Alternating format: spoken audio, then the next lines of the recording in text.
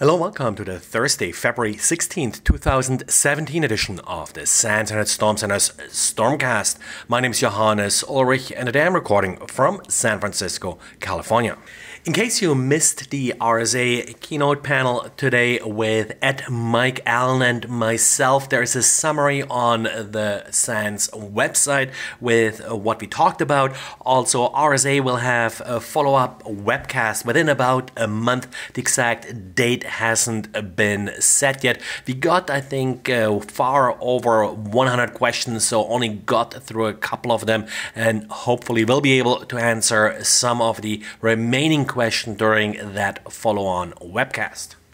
But with that, Xavier also had a great diary today with preferred network lists. That's a problem that you have in a lot of wireless clients where they remember the last few Wi Fi networks they connected to and then try to reconnect to them when they come online. Now, if you sniff for that, and that's what Xavier goes through here, you will be able to enumerate the SSIDs they're trying to connect to, and then with public services, you'll will be able to geolocate them. Of course, once the client connects to your Wi-Fi network, you may get additional information, particular iOS and OS 10 devices of a sort of advertiser device name, which is usually, or at least the default configuration, the name of the owner of the device. So by combining those two data sets, you essentially know who the owner is of the device and can then check what prior networks that owner connected to. And that's essentially what Xavier is talking about here. Not really a new problem. These preferred network lists are fairly well known, but Xavier sort of walks you through the process of actually collecting that information. And Bitdefender is reporting about a new Mac malware. They're calling it X agent and associate it with APT28, which is commonly linked to Russia. This particular Mac malware does not have its own infection vector, so it's something the user will probably install or that will be installed using some vulnerability on the system. Once installed on the system, the malware does have some anti-debugging or reversing features. For example, if it is be attached to a debugger, it will not run.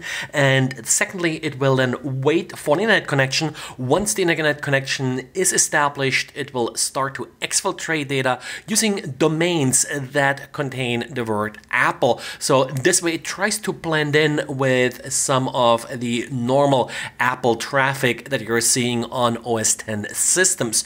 One interesting thing, in addition to passwords, screenshots, and the like, this particular malware will also try to exfiltrate iOS backups. So if the infected system was used to back up iOS devices, then you may lose that data as well. Not clear if it will help you here if the password if the backups are password protected, but given that it's running on the system itself, it may actually be able to extract some of uh, these passwords as well, in particular if the user is logged in. And security company Context IS looked into Android based conference phones and uh, found that uh, products by Mitel had some interesting vulnerabilities. The root cause of these vulnerabilities was that it looked like much of the software was sort of in a development and debug state. Some of the certificates used to sign components of the software were publicly available test certificates, not actual private certificates certificates and keys uh, being established by Mitel for production software as you should have done it. Now, because of uh, this problem, Context IS was uh, then able to overwrite the firmware on the device with firmware presented by a DHCP server. That's a feature that you have very commonly in voice over IP devices where DHCP can advertise configuration files or firmware files. Of course, they should be validated on the device using certificates and digital signatures, but given that this device used this publicly available debug certificate, it was pretty easy to actually fake a copy of the firmware and have it being accepted as genuine. As a quick fix, uh, one thing you can do is essentially don't allow the phone to be updated using a DHCP.